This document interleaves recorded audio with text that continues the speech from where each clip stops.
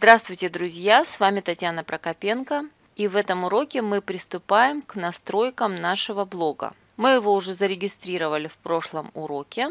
И прежде чем начать настраивать блог, нам нужно убедиться в том, что мы находимся внутри блога как автор, а не как посторонний пользователь. Я уже рассказывала в прошлом уроке, что если у вас несколько почтовых ящиков на сервисе Gmail, при работе с блогом нужно обязательно выйти из всех этих ящиков, кроме того единственного, на который зарегистрирован ваш блог для того, чтобы не было путаницы и самое главное, чтобы вас не выбрасывало из блога. Еще одна возможная ситуация, если вы случайно вышли и из той почты, на которой зарегистрирован блог. В этом случае в правом верхнем углу у вас будет написано «Создать блог» и «Войти».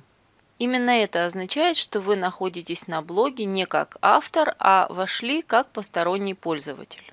В этом случае вы ничего не можете делать на блоге. На главной странице у вас нет значков настроек, значков инструментов и, собственно, нет панели инструментов вот здесь. То есть возможности для редактирования блога в этом случае тоже нет. Если вы видите такую картинку, то поправить это очень просто. Нужно нажать на кнопку «Войти». Здесь мы снова в правом верхнем углу нажимаем «Войти». И в открывшемся окошке мы вводим адрес почты, на которую у нас зарегистрирован блог. Нажимаем кнопку «Далее». Вводим пароль.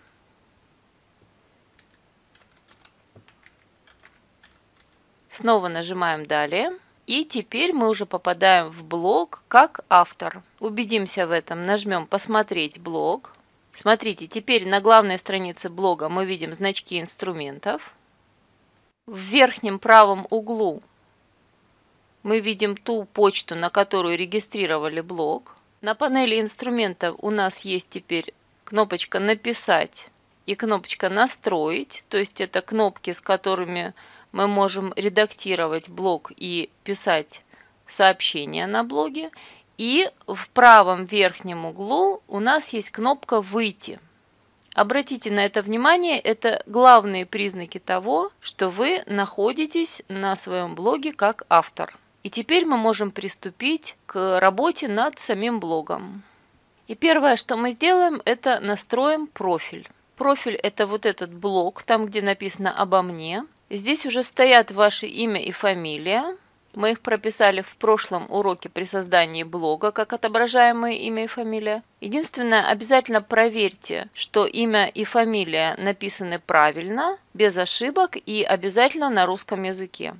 Теперь мы заходим в профиль. Для этого мы нажимаем на ссылку «Просмотреть профиль» или на имя и фамилию.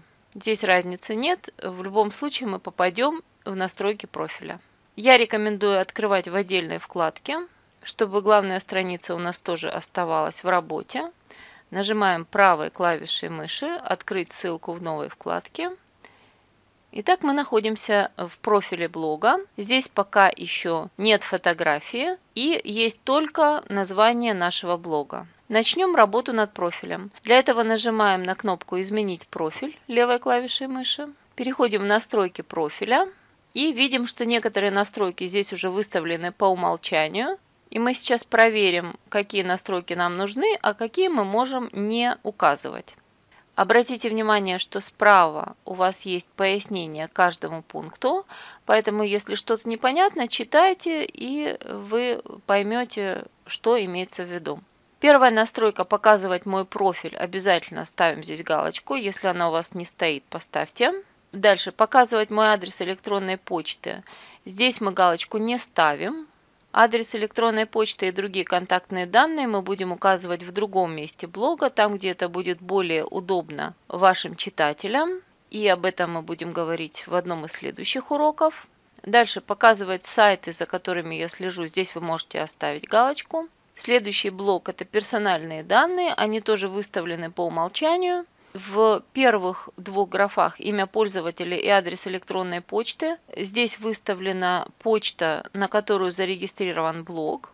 И третий пункт – это отображаемое имя. Обратите внимание, если у вас допущена ошибка в имени и фамилии, или они у вас э, написаны неправильно на э, английском языке или э, как-то по-другому, на этом этапе вы можете поправить. Еще раз повторю, что имя и фамилия должны быть написаны только на русском языке. И, конечно же, проверьте, чтобы это было без ошибок. И первые буквы, чтобы были заглавные. Тогда все будет выглядеть профессионально и правильно.